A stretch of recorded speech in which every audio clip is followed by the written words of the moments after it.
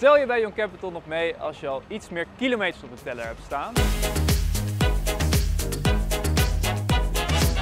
vraag die we geregeld krijgen van de al iets wat oudere kandidaten. Meneer Palmer is het levende bewijs. Hij werkt hier als Bali-medewerker in de Safati Plaza hier in Amsterdam. Afgelopen maand blies hij alweer 80 kaarsjes uit en daarmee is hij onze oudste actieve kandidaat.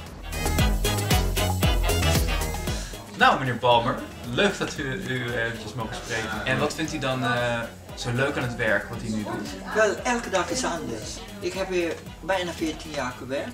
Ik heb honderden mensen leren kennen. En ik vind de mensen heel aardig. U werkt hier dus al een hele tijd. U bent dus nog nooit laat geweest? Nooit. In de 14 jaar nooit, nooit, nooit één dag laat. Dan kunnen we denk ik heel veel mensen nog een puntje aan zuigen, meneer Palmer. Oh, ik hoop het. we willen u natuurlijk voor al uw uh, jaren dienst, trouwe dienst, willen we u heel hartelijk bedanken. Daarvoor hebben we een, uh, een kleinigheidje voor u meegenomen. Ik begreep dat u een, een nieuw pak wilde hebben, hè? Nou, ik denk dat u er prachtig uitziet in een nieuw pak. De vrouwen hier waren al erg over iets spreken. Dus u heeft denk ik goed ingepalmd, meneer Palmer. We zijn blij dat te horen. Ja. nou, je ziet het. We heten weliswaar Young Capital, maar ook als je studentenleven alweer even geleden is, kun je bij ons terecht. Heb je zelf nou nog vragen aan ons? Vertel ze dan in de comments. Wie weet komen we de volgende keer bij jou langs.